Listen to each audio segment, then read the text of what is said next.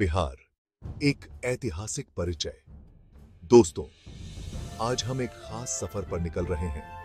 बिहार के गौरवशाली इतिहास की सैर पर यह धरती, ज्ञान, शक्ति और आध्यात्म का संगम रही है।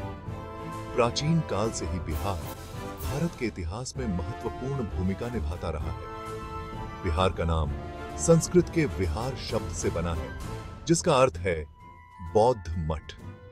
ये नाम इस क्षेत्र में बौद्ध धर्म के प्रसार को दर्शाता है। बिहार की धरती पर कई महान साम्राज्यों और राजवंशों ने राज किया है। ये ज्ञान, कला और संस्कृति का केंद्र रहा है। आइए इस ऐतिहासिक यात्रा की शुरुआत करते हैं और बिहार के गौरवशाली अतीत को करीब से जानते हैं। हमारी यात्रा शुरू होती है। वैदिक काल से इस युग में बिहार मगध नामक एक शक्तिशाली महाजनपद के रूप में जाना जाता था। मगध के अलावा, अंग, वैशाली और मिथिला जैसे महाजनपद भी बिहार में स्थित थे। ये जनपद अपनी समृद्धि और शक्ति के लिए प्रसिद्ध थे।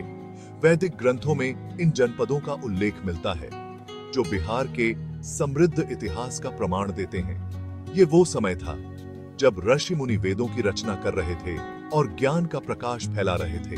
बिहार इस ज्ञान क्रांति का केंद्र था।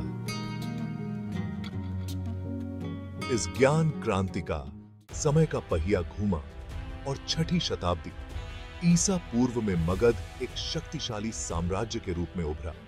बिंबिसार, अजात शत्रु और महापद्म नंद जैसे शक्तिशाली शासकों ने मगध साम्राज्य का विस्तार किया। इसके बाद आया चंद्रगुप्त मौर्य जिसने अपने गुरु चाणक्य की मदद से पूरे भारत को एक सूत्र में पिरोया और मौर्य साम्राज्य की नींव रखी। मौर्य वंश के सबसे प्रसिद्ध शासक सम्राट अशोक ने बौद्ध धर्म अपना लिया और उसे पूरे भारत और विदेशों तक फैलाया। बिहार, भगवान बुद्ध की कर्म भूमि रही है। यहीं पर उन्हें बोधगया में बोधि वृक्ष के नीचे ज्ञान प्राप्त हुआ था। भगवान बुद्ध ने अपना पहला उपदेश सारनाथ में दिया। जो बिहार के सबसे पवित्र बौद्ध स्थलों में से एक है, राजगीर, नालंदा और विक्रमशिला जैसे बौद्ध शिक्षा के केंद्र बिहार में स्थापित हुए, जो दुनिया भर के विद्वानों को आकर्षित करते थे। बौद्ध धर्म का बिहार के इतिहास और संस्कृति पर गहरा प्रभाव पड़ा है। बिहार, जैन धर्म के प्रसार में भी महत्वपूर्ण भूमिका निभाई है। जैन धर्म के 24वें तीर्थंकर, भगवान महावीर का जन्म बिहार के वैशाली में हुआ था। पावापुरी वो स्थान है जहाँ भगवान महावीर ने मोक्ष प्राप्त किया था।